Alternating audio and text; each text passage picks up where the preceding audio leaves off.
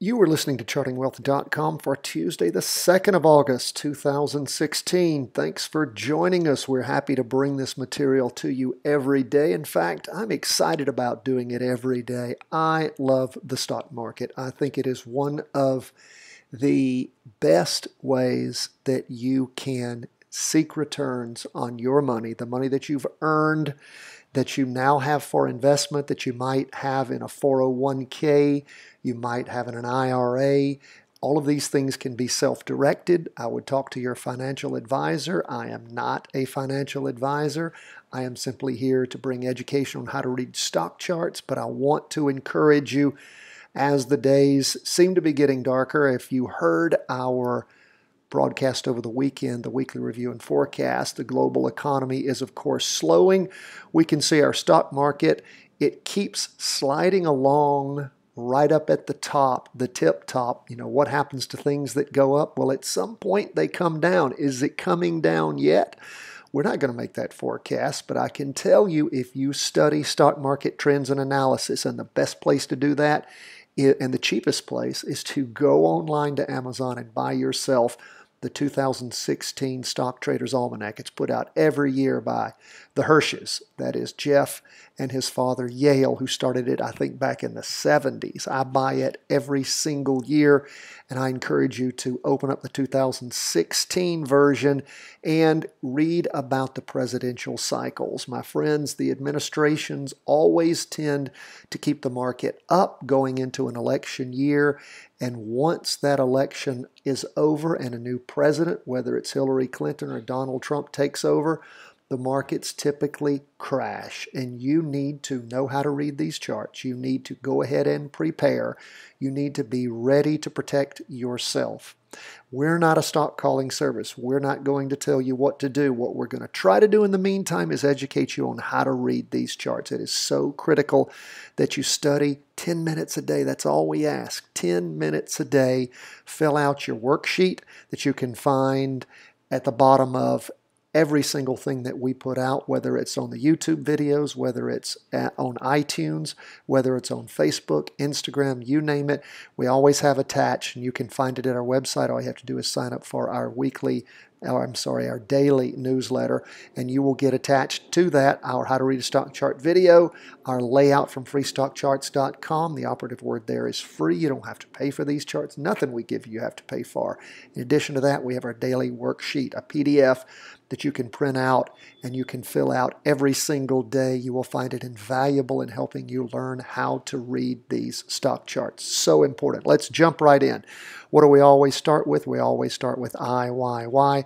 That is the iShares Dow Jones US Total Market Index Fund. It tracks the entire stock market. It's an exchange traded fund. What does it show the market doing? Well, we have this candle on the 1st of August has continued to, and again, very sideways sliding, but it has slowly been creeping up. Now, for the day, technically, the total market was down 0.23%. We use the Heikin Ashi type candlesticks, and the way that it is calculated is different from the open high, close, and low. It actually calculates differently on the training portion of our website. You can actually find our Heikin Ashi candlestick training, which I very much encourage you to take. You can spend years studying Japanese candlesticks, or you can spend 15 minutes or so studying Heikin Ashi, and I think you will get a whole lot more from it. Our job here at Charting Wealth is to boil all of this complicated stuff down to where you have a simple method to figure out what's really going on in the market. What do we see going on? Well, the market is sliding sideways, still in a confirmed up move. We do see the MACD, the moving average convergence divergence line, moving toward the red signal line. When that crosses over going down, you will see the market go down as it did back on the 13th of May. I'm sorry, of June when it crossed over going down. I'm looking back on the charts to see where that happened last time. Crossed over going up on the 11th or so of July and has been going up since then. Looks like it may be coming to another crossover going down. The derivative oscillator sure losing a lot of its speed. Still, though, the market is a confirmed up move, so we don't get out of the market at this point. We just pay attention to it. What's going on on the four hour chart? Well, it crossed over going down, what we called a pullback, and it still may be a pullback. It may cross over, start going up. The derivative oscillator has. But what we've seen happen over the last many days is we had it cross over going down on the 19th of July, and the MACD has continued to move down and has not yet crossed over going up. We ended the day with a big doji. What is that? Well, that looks like a cross on the charts. It's where the open and the close on our Heikin Ashi are right around the same, and we've got a lot of movement up and down as far as where things went during the afternoon, a lot of pacing back and forth, but the movement itself was very slight. That means lots of indecision. We will just have to continue to watch. We're still above our fairly horizontal two-day trend line on the when, when we really zoom into our chart, it doesn't look as horizontal as it does on a regular chart when we go out in the time frame, but still in a confirmed down move. However, the derivative oscillator has flipped over going up, but MACD has not. They've actually diverged even further in the afternoon. So we'll continue to watch and just see what we see on these charts. It has been up here for a long time. Our volatility has reduced significantly. Our Bollinger Bands that are depicted on our charts as blue ticks inside the chart movement is light blue. If you don't have our charts again, we have that charting layout available for you free if you just sign up for the newsletter for free. And what you end up seeing is how the volatility has reduced so significantly that those Bollinger Bands have squeezed in and gotten very narrow. Again, you can call Bollinger Bands volatility bands because when they are wide apart, lots of volatility. When they narrow, you have very little volatility. That means very little price movement. That's what we've been seeing lately. Now, let's go back to our two-day chart. So we have no trade available at this point. We are being cautious. We're going to look at the S&P 500 down 0.08% for the day. Again, very narrow range of movement, sliding sideways. Uh, again, down technically for the day. Our Heikin Ashi does show a green candlestick, an open box, small but green candlestick. We see the MACD and the signal line coming together, the derivative oscillator losing upward momentum. That is losing upward momentum. If we look at our four-hour chart, we can see what happened intraday, down movement in the morning, further down movement in the afternoon. That pullback is continuing to happen.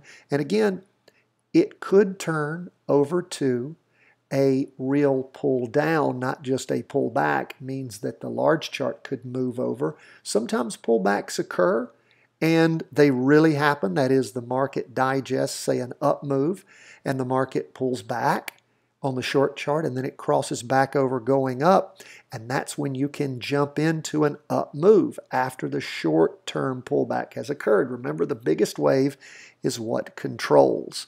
So we will continue to watch still above the fairly horizontal two-day trend line.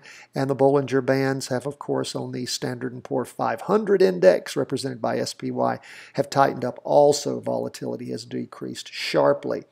We're going to see a little bit of a different chart, however, when we look at the Qs. What's that? That's the NASDAQ 100 and the technology stocks have been moving up since the 1st of July, crossed over on the 11th, and we've con continued to see lots of up movement the charts were actually for the day on the Qs was up 0.53%. Now, if we look at the four hour chart, what do we see? Well, we see continued up movement. Remember when we talked about at the end of last week how we had that pullback end and the charts crossed back over, gave you an entry point. Now, for those of you who were paying attention to our charts, way back when they the pullback occurred around the 19th and then crossed back over on the 20th and you got in anywhere along here if you got in anywhere from the low of 112.17 to the high of 113.65 what have you seen happen well you have seen the market go up significantly closing at the end of the day on Monday at 115.77. So up two to three dollars a share in what? A week and a half, two weeks. So again, it's the kind of things we like to see, and that's what happens when you find a chart that works. And we keep encouraging you don't just get in the market to get in the market. You are not a professional trader who is forced to trade. You can wait until the market is perfect. And why wouldn't you? That's the beautiful thing about learning to read a stock chart. Learning patience, learning to control your emotions, not being run by fear and greed, but being run by wisdom, intelligence, and experience. That's why we're telling you to practice this stuff. We are not telling you what to do. We're asking you to consider thoughtfully what we teach, practice it, and when you can get good at it, then you can make a decision, and only then to spend your own money in the way you see fit, to invest your own money in the way you see fit, to be able to take advantage of being able to read a stock chart. It is so powerful. It's like somebody giving you the keys to the kingdom if you will just do this. And I can't make you do it. I can't. I can give you all that we give you, give it to you for free, encourage you, share with you, but you got to do it. You got to practice. You don't put in the practice, you know, you're not going to learn how to do this. How do you get to Carnegie Hall? Practice, okay? How do you get to wealth and riches in the stock market? Practice. Now, Enough said there. Let's go back to our two-day chart. Look at what gold's doing. Gold was up 0.19% for the day. We're still in a confirmed down move. Gold has not yet crossed over going up, so we don't have a call on gold yet.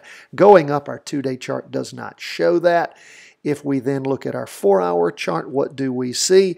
Gold could be called in a pullback at this point. If it does cross over going down on the four hour chart before the two day chart crosses over going up, then of course you might have an entry point. We don't have one yet on gold. Now, I'll tell you what we have been looking for and what we have seen over the last few weeks is our four hour chart starting to work again. Those of you who've been with us a long time, remember when we just used the four hour chart to trade gold? Four hour chart started working again. If you started jumping into gold on just the four hour chart crossing over, particularly when you had nice clean crossings, look indeed how well our four hour chart has been working for us. Has even worked this last time. The last several crossings have been good. Why? Because we haven't had that sideways slide we had at the beginning of the year. Gold has been working pretty good on our four hour chart. Don't you love it? Isn't it wonderful? And again, what we ask you to do is experiment.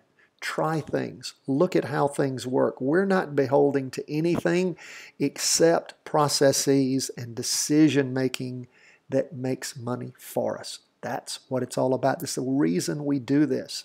We enjoy it, but we do it to make money and to succeed. So that is where we are on gold. That's where we are on all three of our charts. If you haven't had our, if you haven't heard our weekly review and forecast yet, you got to have that so you know where the weekly charts are, the double longs, that is the big, big charts. Because remember, all else being equal, the market always moves in the direction of the biggest chart. My friends, we love to hear from you. We appreciate all the nice things you say about us and you do for us. And you might be saying, well, what can I do for you guys? You don't ask me to do anything. We do. We ask you to do two things. Ask you to subscribe to our YouTube channel. We are now over 800 subscribers. Thousands listen every week, but it's those hardcore subscribers. YouTube tells us we have to get to a thousand subscribers before we can do our proprietary broadcasts. Well, guess what? We're not too far away. We need all of you to go there and subscribe to our YouTube channel, Charting Wealth. Also, we need you to go to iTunes and subscribe to our podcast and give us a five star rating. You've gotten us as high as like six in the world on stock charts. Well, no, actually, stock market podcasts. Stock charts, were clearly they're in the top two or three. But just the whole stock market, you guys have made us in the top six or so. So please, we want to get to number one. And we need you to subscribe to our iTunes channel and to continue to give us those five star ratings. We so appreciate you. Let us hear from you. If you haven't already signed up for the newsletter, you need to go to chartingwealth.com. All the good trainings there, all the good trainings also at our YouTube channel, Facebook, Twitter, Instagram, YouTube. We do all we can for you. And please help us out just a little bit. God bless. Thank you so much. Hope that you are learning this. Be sure to fill out your daily worksheets every day. We're just asking folks 10 minutes. It will pay itself back. Just imagine 10 minutes a day. And when you go back years from now and look at what you reaped in return, it'll probably be the best return on your time you've ever seen if you will stick with it and learn to read these charts. We're not saying it's easy but we're saying that you can do it. It just takes your time. God bless. Let us hear from you from chartingwealth.com.